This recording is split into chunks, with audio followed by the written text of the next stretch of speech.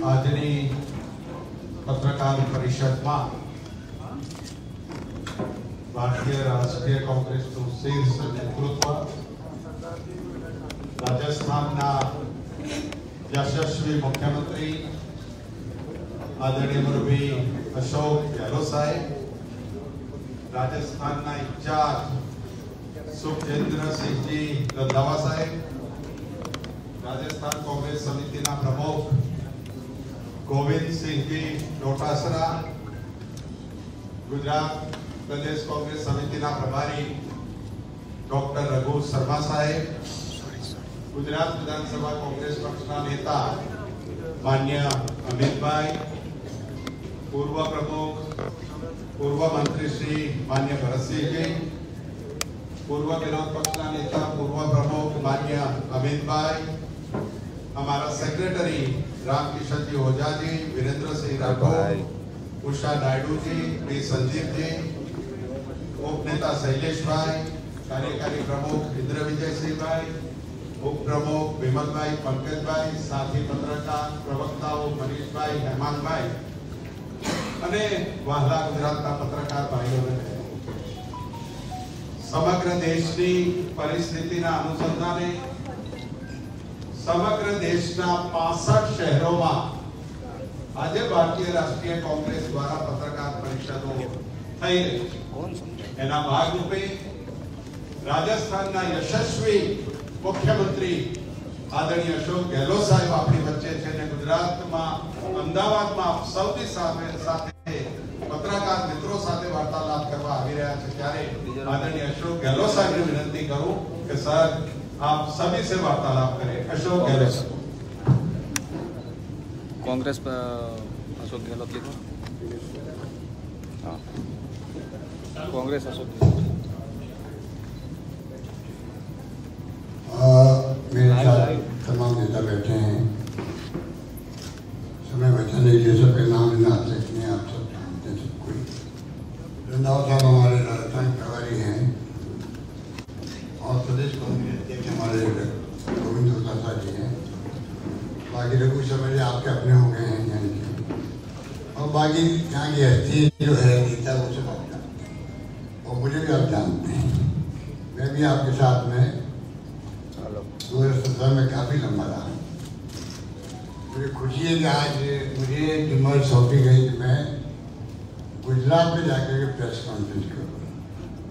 पूरे देश के अंदर करीब तीस पैंतीस जगह पर एक साथ में प्रेस कॉन्फ्रेंस और देशवासियों को बताया जा रहा है, लोकतंत्र खतरे में है। संविधान की धज्जर उड़ रही है। देश किस दिशा में जा रहा है, कोई नहीं जानता। किस दिशा में जाएगा, किसी को नहीं मानता।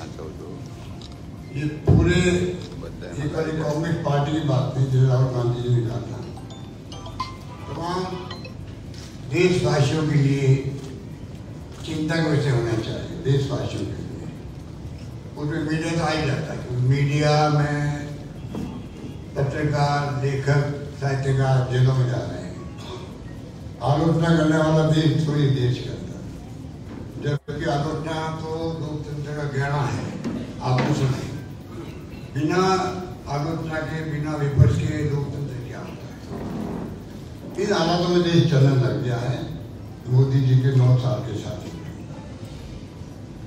झलक मिली आपको विस्तार से भी जाना चाहूँगा क्योंकि ये जो मुद्दा हुआ शुरू वाला, ये चार साल पहले कर्नाटक में शुरू हुआ। किस प्रकार यहाँ पर केस दर्ज किया गया? किस प्रकार हाईकोर्ट में जाके जो अपराधी था उसने खुद ने रोक लगवा दी?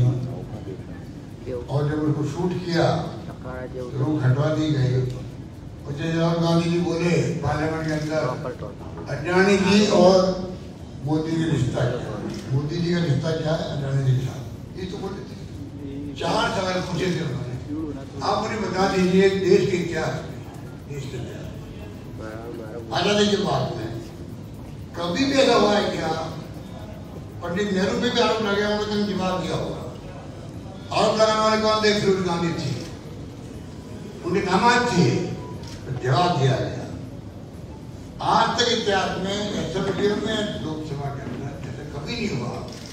आरोप लगाना तो मतलब चिंता लगती है। जवाब खुद ने भी नहीं दिया ना किसी दिलवाया। मतलब अडवाणी जी का नाम लो ही मत। जिससे कि ये इश्यू अपना खत्म हो जाएगा। क्या कैसे इश्यू खत्म होते हैं? आप सोच लीजिए जिस रूप में माहौल बनाया गया जैसे ही रिश्ता पूछा गया अडानी जी का और मोदी जी का, और सरकार हरकत मांग गई आप बताइए, दूसरा मुद्दा में जगह क्या बोल रहे हैं राहुल गांधी? आज मैं आपसे प्रेस कॉन्फ्रेंस कर रहा हूँ तो ये चाहे तो ये दिल्ली, बंबई, लंदन, अमेरिका कोई सुन सकता है। क्या ये मालूम नहीं सरकार को इंटरनेट का जमाना है राजीव गांधी का सपना था, वो पूरा हुआ, कंप्यूटर आ गए, इंटरनेट आ गए, मोबाइल आ गए। दुनिया देख सकती है एक साथ में। राहुल गांधी जी वही बोले लंदन के अंदर, जो कि हिंदुस्तान में कई बार बोल चुके थे नंबर। एक नंबर दो, जो भारत जोड़ो यात्रा मंत्री भारत जोड़ो यात्रा, लगातार बोल थे, आज नौ उन्होंने प्रेस कॉन्फ्रेंस करी थी। तो मुख्य मुद्दा था लोकतंत्र की हत्या हो रही है, लोकतंत्र समाप्त हो रहा है। संविधान की झरिया उड़ रही है। एक भी बात ऐसी नहीं बोली लंदन में जो कि देशवासियों को बुरी लगती हो। पर गुमराह करने के लिए देशवासियों को कभी ओबीसी लाते हैं, कभी देश की, देश का मान सम्मान नहीं बढ़ाया। और आप मांग करो माफ़ी की मांग करो बोलने नहीं दिया गया। राहुल गांधी जी ने कहा, भाई, मुझे कम से कम मेरे पर आरोप लगाया आप लोगों तो मेरा अधिकार बनता है, मैं भी पाँच बार मेंबर पार्लियामेंट रहा हूँ। मेरा अधिकार बनता है मैं जवाब दूँ पार्लियामेंट के अंदर ये तो सिंपल नियम है पार्लियामेंट का। और जो कोई रोक नहीं सकता, उसके बावजूद जाके मिले स्पीकर साहब से स्पीकर साहब ने भी हँसी टाल दिया। पहले तो उनपे मूट किया गया माइक को एक बार। एक बार उन्हें एक्सपेंड कर दिया गया बोलने की बातों को। एक्सपेंड कर सकते हैं मुझे बताइए आप, पहले तो आप कुछ भी कर सकते हो स्पीकर का पावर होता है। परंतु, परंपरा रही हमेशा कि हाउस के अंदर बोलना पड़ता है स्पीकर को या सभापति को कि भाई, कोई बात ऐसी आगे सामने तो इसको मैं एक्सपेंड करता हूँ। जैसे कि मीडिया वाले समझ जाए तो भाई, इसको आपको बाहर नहीं देना है, क्योंकि एक्सपेंड कर दिया गया। ये तो मीडिया वाले जानते हैं बात को वो नहीं हुआ है।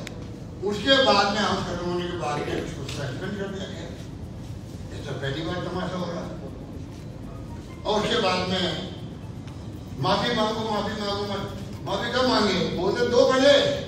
बोलने के बाद में आपको भी आप माफ़ी मांगो साहब तो ये समझ में आती बात को कि हम आपकी बातों का, हम आपके प्रत्युत्तर से संतुष्ट नहीं है। माफ़ी की बात कब आती है? जब आप आरोप लगाते हो, वो कहते मैं चलो जवाब देता हूँ। जवाब देने के बाद लगे नहीं हटता आपके बातों संतुष्ट नहीं है, आपकी जवाब संतुष्ट नहीं है, माफ़ी मांगो। तो ये समझ में बात आती है। आप तो उनको बोलने दे नहीं रहे हो, माफ़ी मांगो बस। और उसको बंद करवा रहे हो खत्म करवा रहे हो। और सत्ता को खुद ही जिसके ऊपर जिम्मेवारी होती है, हाउस चलाने की, वो कह रहा कि बार बार अर्जन करवा रहा उसको, हल्ला करके और उनको बोलने नहीं दिया गया। और जो घबरा गए थे भारत जोड़ो यात्रा सफल रही है ये पूरा खेल वहाँ शुरू होता है। भारत जोड़ो यात्रा की सफलता। करोड़ों रकम में उन्होंने खर्च किए उनको इमेज खराब करने के लिए। सोशल मीडिया ट्रोल आदमी के द्वारा वो तमाम बातें धुल गई धुल गई। चिंता पड़ गया हाईकमान उनका प्रधानमंत्री मोदी जी, अमित शाह जी, जेपी नड्डा जी सब चिंतित हो गए। उसी दिन ये षड्यंत्र शुरू हो गया। कौन सा मौका ढूंढे जिससे कि हम वो कर सके जो हमें करना है। घबरा करके खेल खेला गया। और जब अडानी जी का मुद्दा आया तो उनको बहुत खूबसूरत ढंग से उठाया उन्होंने। उन्होंने क्या पूछे? अगर प्रधानमंत्री जी को कोई कोई दिमाग की बात नहीं है, कोई कसूर नहीं उनका तो जवाब देने में तो क्या है? जवाब विपक्ष का नेता मांग, नंबर वन विपक्ष का नेता मांग रहा है। मांग रहा है, क्या प्रधानमंत्री की वो अपनी सफ़ाई देते हैं। इतना समय देने के बाद में देश वाले को समझ में बात आती तो सच्चाई क्या है? अभी तक जवाब नहीं देने से जेपीसी मान बार बार जाने, उसको नहीं मानने से, देश के सामने क्या सच्चाई हो तो मालूम नहीं पड़ रहा है। देश जाना नहीं है लोकतंत्र के अंदर। भाई वास्तव में, पूरे मुद्दे में कौन सा पक्ष क्या कह रहा है? हमारी बात जनता होती है, वो फैसला करती है कौन सा पक्ष ठीक था? किसने जवाब ठीक दिया? किसने क्वेश्चन ठीक पहुँचे? सही कौन है, गलत कौन है? ये फैसले जनता करती है, चुनाव आने पर, वक्त आने पर। आप बता दीजिए। हम बोले जा रहे बोले जा रहे बोले जा रहे जवाब मिल नहीं रहा है। इतने राहुल गांधी का लोकतंत्र खत्म हो गया है। राहुल गांधी जी को अल्टीमेट नहीं कहना पड़ा लोकतंत्र खत्म हो गया। जो जवाब नहीं देगा तो आप क्या ये हालात में चल रहा है अब राहुल गांधी का बीस हज़ार करोड़ का जो मीडियम आया है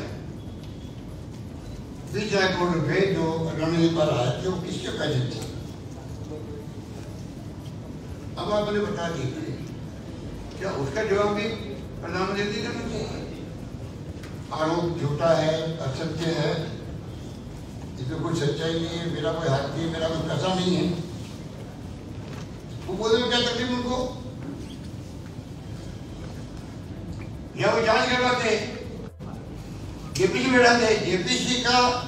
सुप्रीम कोर्ट में केस चल रहा है, उसके हाथ में वो बोल नहीं रहे हैं। सुप्रीम कोर्ट की कमेटी बनी, अलग काम कर जेपीसी वो जो सवाल जवाब कर सकते हमारे वक्त में हमारे खिलाफ जेपीसी बनी थी। राहुल गांधी, राजीव गांधी के वक्त में। आपको याद ही है, बॉफोर्स को लेके जो झूठा केस बनाया गया, तभी जेपीसी बनी थी। जेपीसी के वो बनी है? तो जेपीसी बना के आप दूध का दूध, पानी का पानी क्यों नहीं करना चाहते? पूछेगा, मोदी जी को नुकसान है, अगर कोई गलती नहीं किया तो। ना हरियाणा को नुकसान है। नुकसान तब है कोई गलती की है और सच्चाई सामने आएगी। अगर आप जवाब नहीं दे रहे उसका मतलब आप मानते हो, आप सच्चाई पे हो। आप जेपी से बैठाइए, मालूम पड़ेगा। इस रूप में जो खेल खेला जा रहा देश के अंदर उससे पूरा देश चिंतित है। पता नहीं देश को आप दिशा में ले जाओगे अब राहुल जी घर पे पुलिस भेज दी बताइए। ये तो एक मज़ाक होगी ना। ऐसी मज़ाक मैंने कभी सुनी भी नहीं थी। देखनी बात अलग बात है। हम यात्राएँ करते हैं। मैं आपके गुजरात में कई यात्राएँ करी। भाषण दिए होंगे कई। आलू लगाए होंगे कई। गुजरात पुलिस मेरे को मुझे मदद कर रही अगर मैं गुजरात के इंटरेस्ट के अंदर बात बोलूँ भी मैं गया यात्रा में, मुझे ये शिकायतें मिली। मुझे एस के लोग मिले, आदिवासी मिले, महिलाएँ मिली, कहा लेकिन हमारा टुकड़ा ये है, हमारी सुनवाई पुलिस हुई नहीं, हमारे साथ छेड़छाड़ हो गई, या हमारी अमुक से ज़मीन में कब्जा कर लिया। अगर मैं बोलूँ तो क्या मेरे को मुकदमा दर्ज जाएगा?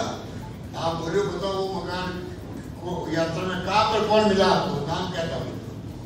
अब मैं अगर यात्रा कर रहा हूँ तो मुझे थोड़ी याद रहेगा कि मैंने किस गाँव में गया, किस ज़िले में गया, कौन सी बात कहाँ गई, मुझे याद सकता क्या? अब राहुल गांधी साढ़े तीन हज़ार करोड़ की यात्रा करी है। कभी मेरे पास महिलाएँ आई, मेरा पति मुझे मेरे साथ अत्याचार कर रहा है। मैं बहुत दुखी होकर मैंने कहा, मैं आप मेरी बात सुनाऊं। तो राहुल जी कभी आपको पुलिस को रिपोर्ट करूँ तो यात्रा छोड़ के वो पूरी थाने में जाते। कहते नहीं, आप रिपोर्ट करो, मैं हम घर वापस जा रही तो और प्रताड़ित होंगे हम लोग यही तो काम इस प्रकार ये किससे उन्होंने पब्लिक इंटरनेट भाषणों में गए।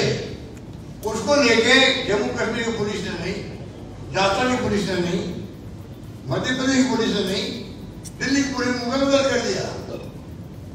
और तो उनसे सवाल करने घर चले गए। तब भी उन्होंने कोई बात नहीं, मैं आपको बताऊँगा आप पाँच साथी का वक्त दे दीजिए साथी जिसका दिलाया करें तो पूरी होम मिनिस्ट्री जो है, आप ध्यान रखिएगा होम मिनिस्ट्री से जो जो मुकदमे देश भर में चल रहे हैं, विपक्ष पार्टियों के खिलाफ में, खाली मुकदमे दर्ज करने के आदेश नहीं होते हैं, साथ में मॉनिटरिंग भी होती है। मॉनिटरिंग सिस्टम है वहाँ। तो नीचे जो मॉनिटरिंग होगी, पुलिस कमिश्नर हो डीजी हो कलेक्टर हो, जो भी हो उसको आगे बढ़ना ही पड़ता है। ये income tax ED CBI police judiciary election of India सब जगह हराती है। ये मैं जो बोल रहा हूँ, मैं अपने अनुभव से बोल रहा हूँ। खाली बोलने की बॉडी लैंग्वेज नहीं मिली है।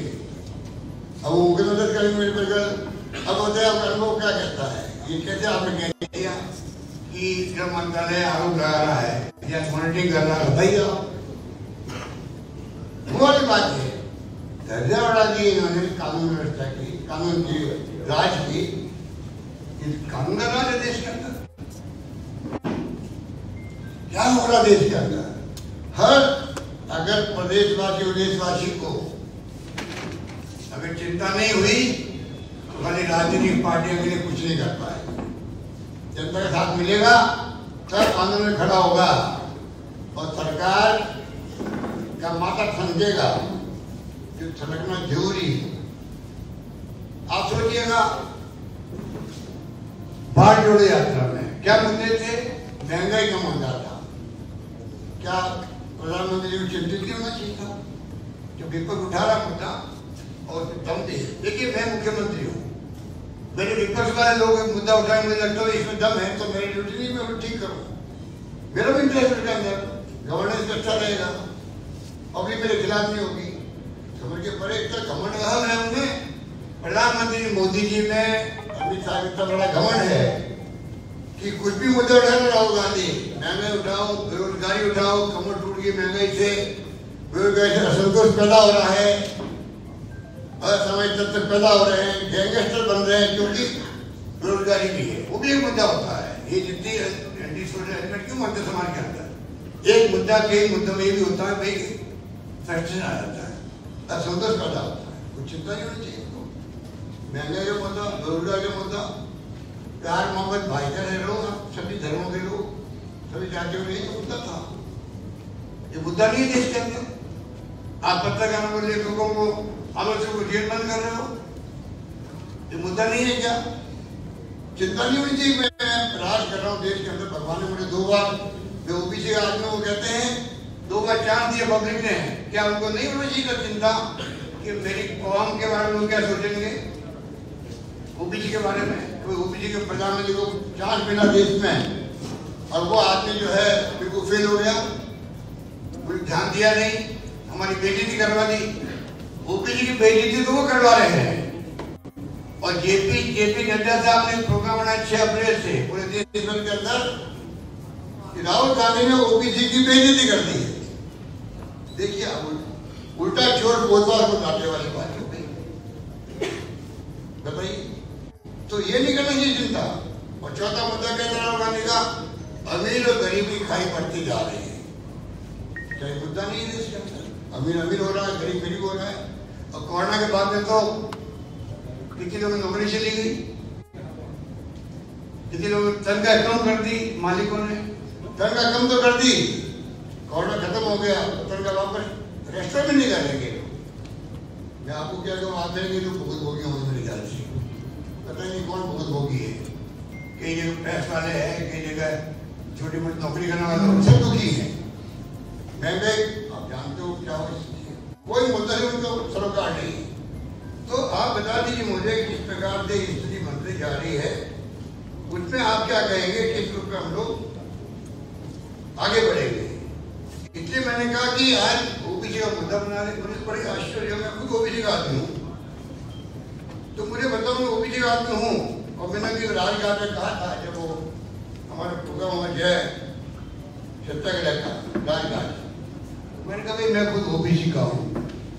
और मेरी कम्युनिटी जो है, उनका एक एम एल ए सिर्फ़ है। विधानसभा और वो मैं खुद ही हूँ एक एम एल है लोग ये जानते हैं पचास है साठ है चालीस है मुख्यमंत्री बन गया। आपके यहाँ भी पटेल है कि नॉन पटेल पता नहीं कौन कौन होंगे। मैं एक, मेरी कम्युनिटी एक एम एल वो मैं खुद ही हूँ। और तो मुख्यमंत्री तीन बार हूँ। अब इससे बड़ा प्रूफ कहूँगे एक बार क्या होगा, सोनिया गांधी, राहुल गांधी, प्रियंका जी ने जो भी मेरी मदद की होगी, मेरे विश्वास किया आगे 98 के अंदर। विश्वास आज भी काम है। तो आज ओबीसी को गर्व इस बात में होता है कि हमारा मुख्यमंत्री की जाति जो है एक एमएलए होते हैं, उनको मुख्यमंत्री बनाया गया बार बार उत्तराखंड में इस बात का हो रहा है, और ये उल्टा कह रहे हैं कि साहब देखिए, राहुल गांधी ने ओबीसी की बेइज्जती कर दी। आप समझ सकते हो कितना बड़ा सोच फ़र्क इसलिए ये जो प्रतिक्रिया है, राहुल गांधी घबराने वाला आदमी नहीं है। ये जो अभियान चल रहा है, एक महीना अभियान चलेगा। जय भारत। सत्याग्रह नाम दिया गया है, जो इसके लिए आपको अलग से प्रेस कॉन्फ्रेंस करेंगे हमारे पिछले अध्यक्ष और हमारे नेता लोग। अलग विस्तार से क्या प्रोग्राम हमारा बताएँगे आपको, मैं तय कह देता हूँ, एक प्रोग्राम लगातार दे रहे हैं और ये देशवासियों को जागृत करने के लिए ये हमारा जैसे आप, गुजरात के लोग थे, हमारे खिलाफ आप लोगों ने आंदोलन शुरू किया, जेपी मूवमेंट के वक्त में। किया मूवमेंट देश जानता है।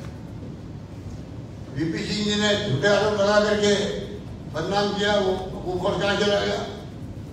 जब कारगिल युद्ध हुआ तो वो फौरी काम आया। इतनी शानदार वो गन थी और जिसे चलाई उन्होंने जिंदाबाद पहले राजीव गांधी, अमर रहे के नारे लगा फिर वो गन चलाई थी। वो भी देश बुला नहीं। की ये तो इनकी फितरत है। झूठ बोल के कैसे माहौल बनाओ? और हिंदू मुस्लिम की बात करेंगे तो दुर्योधन हो जाएगा। इनको वही घमंड है। देश बड़ी बर्बाद हो जाओ। संविधान की दर्जे हट जाओ। कानून राज नहीं रहे, कोई चिंता नहीं। और हम अपनी धर्म की बात करेंगे, हिंदू धर्म की बात करेंगे, जिससे कि चुनाव जीते जाए। उदाहरण सामने, यूपी में चार से दो सीटों में आप एक टिकट मुस्लिम को नहीं दे रहे हो। चुनाव जीत जाते हो। तो फिर आना स्वाभाविक है। स्वाभाविक है। डेमोक्रेसी का नहीं। आप क्या सोचते हो? दुनिया के मुल्क जो आपका मान सम्मान करेंगे। दुनिया भर के लोग जो है बिज़नेस करते हैं। यहाँ के इंटरेक्शन भी करते देश के। आप लोग, हम लोग देखते होंगे कितने प्लेटफॉर्म बन गया आजकल तो यूट्यूब के अंदर। मुझे खुशी बात है कि देश का इस देश का साहित्यकार, देश का पत्रकार कुछ भले मालिक लोग ईडी सीडी से घबरा जाते हैं आई आई टी से इनकम टैक्स और सीबीआई से, इसलिए वो एक तरफा चल रहा आपका ये डिजिटल मीडिया कोई कमी नहीं है लोगों में सच्चाई कहने की पत्रकारों में साहित्यकारों में मैं सुनता हूँ लगातार डिस्कस सुनता हूँ, मुझे गर्व होता है कि आज भी लोग ऐसे हैं। खुद से अपनी बात बोल रहे हैं यूट्यूब के अंदर ये देश को बचाएगा। ये बातें देश को बचाएगी। और आज हमारा राजनीतिक कार्यकर्ता किसी पार्टी का हो? मुझे खुशी है, उन्नीस पार्टियों ने मिलकर के जो मीटिंग करी है दिल्ली में, उन सबने कहा है लोकतंत्र खतरे में है। संविधान धज्जा बढ़ रही है हम सब एकजुट होकर के संघर्ष करेंगे। ये शुभ संकेत है देश के। शुभ संकेत। राहुल गांधी का तो एक डिस्कशन का एक मौका मिल गया प्रतिक्रिया के रूप में। ये रिएक्शन है। क्योंकि जो फॉलो हुआ है जिस रूप में वो नहीं दिया गया। उनको जिसको घेरा गया जिस प्रकार से म्यूट किया गया जवाब देने नहीं दिया गया। और फिर डिस्कशन तक कार्य करवा दी गई। तो एक मेरा रिएक्शन हुआ है देश के अंदर, और कांग्रेस के अंदर उसका रिएक्शन से ये अभियान शुरू हुआ। असली मकसद राहुल गांधी क्या कर? रहे हैं मैं चिंता नहीं करता हूँ, चाहे मेरे साथ कुछ भी हो रही। मैं चाहे पार्लियामेंट रहूँ या बाहर रहूँ, मेरा संघर्ष जारी रहेगा, देश की आवाज़ बन के मैं बोलता रहूँगा, बस ये बात है। उस पर लोकतंत्र भी आता है संविधान भी आता है, ये बात। धन्यवाद सर विपक्षी दलों की बैठक में आपने DMI को लेकर के सवाल को ये इलेक्ट्रॉनिक वोटिंग मशीन को लेकर सवाल उठाए आवाज़ नहीं आ रही। चालू है। हेलो सर ये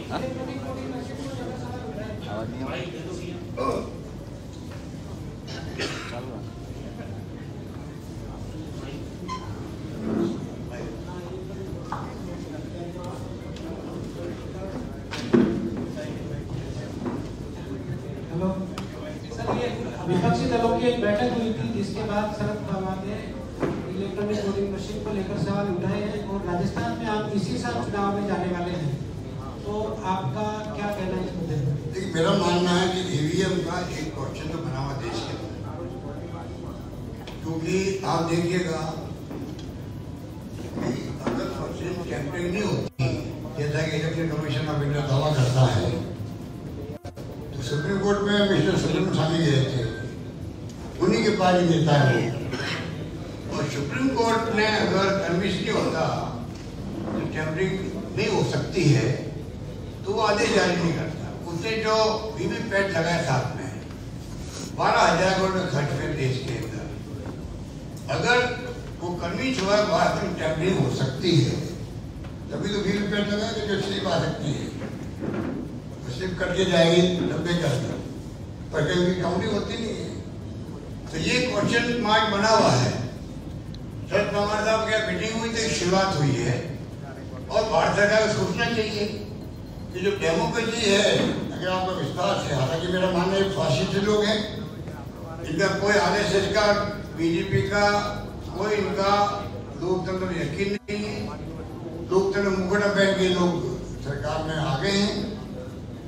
अगर विस्तार से इनको पूछोगे कि अगर संदेश देश में है ये मशीन का, और मशीनें आपको मालूम है दुनिया के मुल्कों में फेल हो चुकी है। दुनिया के मुल्कों में हमसे पहले मशीन आई थी कई विकसित राष्ट्रों में।